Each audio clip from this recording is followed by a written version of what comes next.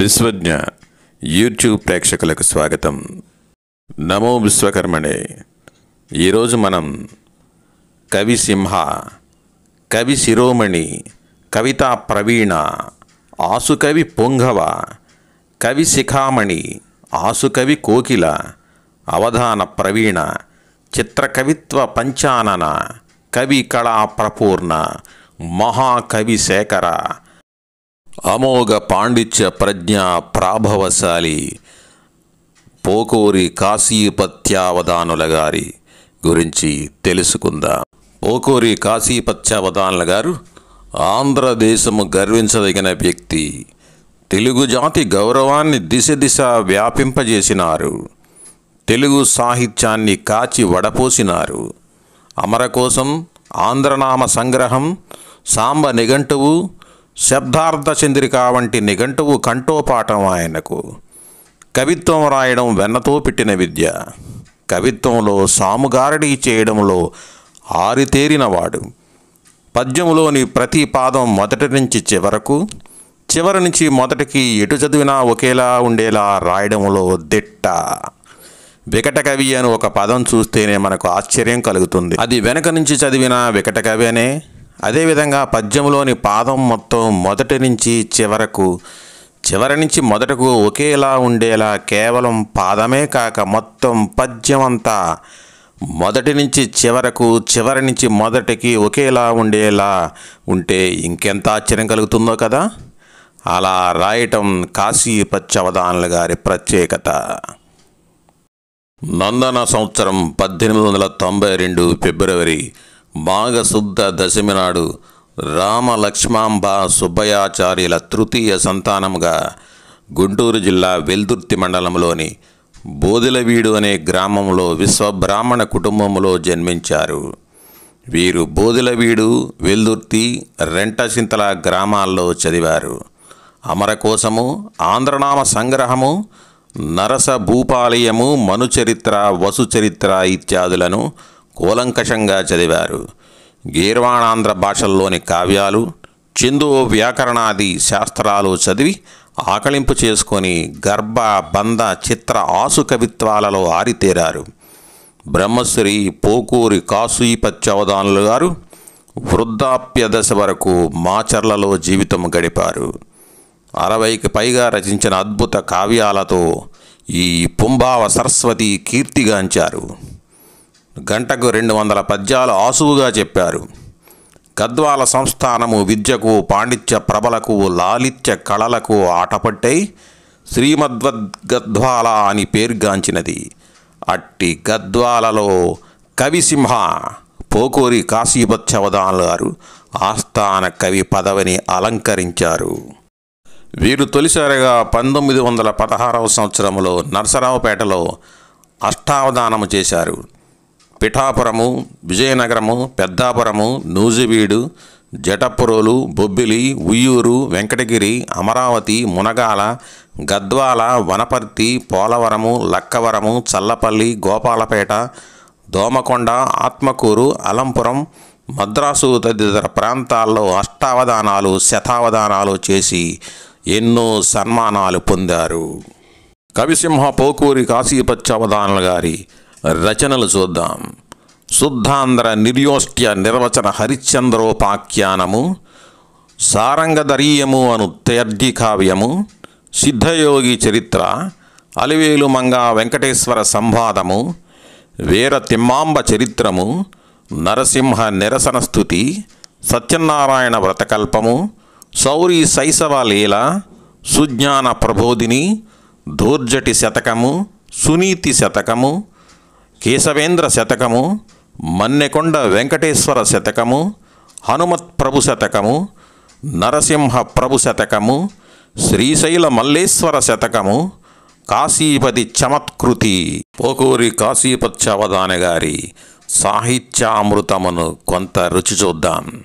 షట్చక్రవర్తులలో మొదటివాడు హరిశ్చంద్ర చక్రవర్తి కనుక పోకూరి కాశీపత్యావధానులు గారు. హరిశ్చంద్రోపాఖ్యానమును రచన గావించారు. విశ్వామిత్రముని మాతంగ కన్యలను పంపించాడు. వారు అవమానించబడినారని క్రుద్ధుడైన ముని హరిశ్చంద్రుని వద్దకు వెళ్ళాడు. సామ్రాట్టు ఆయనకు కాళ్ళపైన పడ్డాడు. కుపితుడై ఉన్న ఋషి రాజును పాదంతో తన్నగా రాజు సహనము ఓరిమిలను ప్రతిబింబించే దృశ్యాన్ని పోకూరి కాశీపత్యావధానులు చిత్రించిన పద్ధతి పదుగురి మెప్పు బడసినది. మహర్షి పాదం నొప్పి పుట్టిందేమోనని హరిశ్చంద్రుడు వ్యాకులపడుతూ మహర్షి పాదాలను వత్తసాగాడు. ఈ సంఘటన పారిజాతాపహరణము ప్రఖ్యాత ప్రబంధంలోని ముక్కు తిమ్మనాచార్యుల గంఠంలో నుండి వెలువనెట్టి సత్యభామ శ్రీకృష్ణుని తన వామపాదముతో త్రోయిట జ్ఞప్తికి వస్తుంది. ఆ రీతిగా పాద సంవాహనం చేస్తూ బహునిదానముగా అన్నాడు ఇలా. నే నిన్నైనను నీనా నానా నే నానా నూననా నన్న నౌనవు. నా నిన్ను నిన్న నన్న నా నేనున్నానా నానినా నన్నన్నా. ఇటువంటి ఏకాక్షరి అనగా ఒకే అక్షరముతో పద్యం అంతా సాగేలా రాయడం కవిసింహ గారికి వెన్నతో పెట్టిన విద్య. కేవలం పద్యములో గుడుసులు మాత్రమే ఉన్నవి. ఈ పద్యాన్ని గమనించండి. కినిసి సిరి దీసి నీలిగి తినిసి గిడి కింగిరికిని దిగి తీరితి గిత్తిని జీరి నించి చిక్కిడి తిని జీయింతికీరితిని నిల్చిరిసి. కాశీపచ్చవధానులు గారు ఒకే పద్యంలో ముప్పై అర్థాలు వచ్చేట్టు రాశారు. ఇది వీరి పాండిత్యానికి పరాకాష్ట. వారు పొందిన సన్మానాలు చూస్తే పంతొమ్మిది వందల యాభైవ సంవత్సరంలో ప్రొద్దుటూరులో ప్రజలు గండపెండేరం తొడిగి ఏనుగుపై ఎక్కించి ఊరేగించి సన్మానించారు. పంతొమ్మిది వందల అరవైలో రాయచూరు ఆదోని పట్టణాల్లో ప్రజలు ఆప్యాయతతో సువర్ణ కంకణములను తొడిగి సత్కరించారు. పంతొమ్మిది వందల అరవై రెండులో ఢిల్లీలో ఆనాటి రాష్ట్రపతి డాక్టర్ సర్వేపల్లి రాధాకృష్ణన్ గారి చేత సన్మానించబడినారు. పంతొమ్మిది వందల అరవై ఆరులో కర్నూలు జిల్లాలోని హాలాహర్విలో కనకాభిషేక గౌరవం పొందారు. పంతొమ్మిది వందల అరవై ఎనిమిది సిద్దిపేట పురందర వీధులలో ప్రజలు వీరిని రథంలో ఊరేగించారు. కాశీ హైదరాబాదు విశాఖపట్నం మొదలైన నగరాలలో వీరు సన్మానించబడ్డారు. దాదాపు నలభై ఎనిమిది బంగారు పథకాలను అగణిత బిరుదు సన్మానాలను పొందారు కవిసింహ. స్వయం కృషితో చదువుకుని మహాకవి శేఖరుడైనారు. గద్వాల సంస్థానములో విద్వాంసులెందరినో మెప్పించి ఆస్థాన పండితులైనారు కాశీపతి గారు. ఎవరూ రాయలేని కవిత్వం రాశారు. కేవలం యా రా వా సే షా సా హా బండిరా అళా అనే పది అక్షరాలతోనే శ్రీకృష్ణుని బాల్యక్రీడను సౌరి శైశవలీల అనే గ్రంథంలో రాశారు. కవిత్వంలో ఇటువంటి ప్రయోగాలు ఎన్నో చేశారు. సారంగధరీయం అనే త్రయర్జి కావ్యం రాశారు. ఒక్కో పద్యంలో మూడు కథలు చెప్పుకుంటూ గ్రంథం మొత్తం రాశారు. ఈ కావ్యాన్ని పొట్టు శ్రీరాములు విశ్వవిద్యాలయం వారు పునర్ముద్రణ చేశారు. కాలికి గండపెండేరం తొడిగి గజారోహణం చేయించి అశేష జనం వెంటరాగా ఊరేగించారు.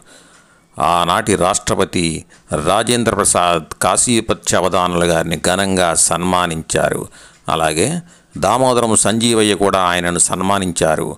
ఆంధ్ర ఉస్మానియా విశ్వవిద్యాలయాల్లోనూ మదన్మోహనాచార్య విశ్వవిద్యాలయం కాశీలోనూ కాశీపత్యవధానుల గారిని ఘనంగా సన్మానించారు.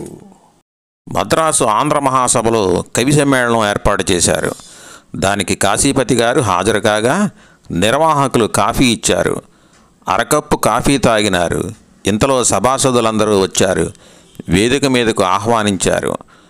కాషాయాంబధారి కర్ణకొండ సువర్ణ గంటా కంకణ కేయూరధారి గండపెండేర భూషిత పాదుడు ఆరడుగుల అందగాడు అజానుబాహుడు అభినవ మన్మధుడు అన్నట్లుగా సభా వేదికపై వస్తుంటే హర్షధ్వానాలు చప్పట్లు ఆ రూపాన్ని చూసి మారుమురోగినాయి. సభ ప్రారంభమైంది. వేదిక మీద ఉన్న ఆంధ్ర విశారద తాపీ ధర్మారావు గారు కాఫీ సేవించారుగా కాశీపతి గారు కాఫీ మీదే దండకం చెప్పండి అన్నారు. అన్నదే తడువుగా ఆయన అందుకున్నారు. శ్రీమన్మహాదేవి లోకేశ్వరి కాళికా సన్నికావాణి లోక సంచారిణి అంబ కాఫీ జగన్మోహిని తొల్లి శ్రీకృష్ణుడా స్వర్గమంజేరి జేరి పారిజాతంబున్ దెచ్చియున్ నాతికిన్ బ్రీతిగా నిచ్చు కాంబు నందా సుమంబు నందంకు బీజంబు ఉర్వీస్తలిన్ రాలియున్ లోకవేదంబుచే గాఫీ భూజంబుగా బుట్టియన్ గొమ్మన్ రెమ్మన్ భూవున్ దావున్ జక్కన్ పిందెన్ జక్కన్ గాయన్ జొక్కమౌ పండ్ల బాసిల్ దద్బీజ జాంబు నేరేండ్ల England Holland Poland Russia Japan Germany Greek దేశంబు నాటి పెన్మ్రాకులై ఇండియాన్ దోటలై విత్తనాదులిచ్చుచున్నావటం దుమదిన్ దోచిడెన్ బాపురే తీపిలో నేరమున్ క్షీరమున్ జక్కెరన్ వించుటగాదే. నీ బీజ చూర్ణంబు నామూటిలో చేర్చి సేవించుటన్ నీదు బీజంబున్ బెంచులో మూడ్చి చూర్ణంబు గావించిన దీపిపోదాయే. నీ మాధురీ శక్తి నీయింపు నీ నీ సొంపు నీ పెంపు వర్ణింప నేనింత వాడిన్ ధనాకర్షిణి ప్రాణ సంరక్షణి దాత్రి నెవ్వార లేనిన్ వేకువున్ లేచియున్ నిత్య కృత్యంబున్ దీర్చి మున్ముందుగా నేను బాణంబుగా వింపుకున్. క్విజుల్ వేద మంత్రంబున్ బల్కగాలేరు ప్రాంచత్కుల్ వద్యముల్ హృదయమౌరీతి నిర్మింపగాలేరు శ్రావ్యంబుగా సౌరి దాసుల్ గళం వెత్తియున్ బాడి నృత్యంబున్ ఏయంగలేరు శిల్పుల్ మనస్ఫూర్తిగా సుత్తి చేపట్టలేరు వైశ్యోత్తములు కొట్ట తాళంబును దియ్యగాలేరు డ్రైవర్లు మోటార్లు స్టీరింగ్ను బట్టగాలేరు టీచర్లు పాఠంబును చెప్పగాలేరు డాక్టర్లు ఇంజక్షన్లు చేయగాలేరు ప్లేడర్లు నోరెత్తి వాదింపగాలేరు జడ్జీలు నెవ్వరును తీర్పును వ్రాయగాలేరు దిట్టంబుగా బాసులు కోట సాక్ష్యంబును చెప్పగాలేరు వారాంగనల్ కొడెంగాంటన్ వెనన్ గేడిలో నోలో అరడింపలేరు ముప్పోటన్ నిన్ గ్రోవకున్నన్ శిరోభారమై నాల్క ఎండున్ విశ్వకర్మ స్వయం బంధునన్ సత్యవీంద్రుడనన్ జో పోకూరి కాశీపత్యవదాన రాజీవ సంభాసిని నీకికిన్ మంగళం మహాకాఫీదేవి నమస్తే నమస్తే నమః అని ఇలా చెప్పగానే చెన్నపట్నం సభావేదిక కరతాళ ధ్వనులతో మారుమ్రోగింది. నభూతో నభవిష్యతి. లోగడ లేరు ఇక పుట్టరు అనుట అక్షర సత్యం. ఇటువంటి ఘనచరిత్ర కలిగిన మహనీయుడు కవిసింహ పోకూరు కాశీపత్యవధానులు గారు పలనాటి సాహితీ ప్రియులకు తీరని లోటు మిగిల్చి ది ఇరవై ఏడు పన్నెండు పంతొమ్మిది వందల డెబ్భై నాలుగవ సంవత్సరమున మాచర్లలో శవైక్యం చెందారు.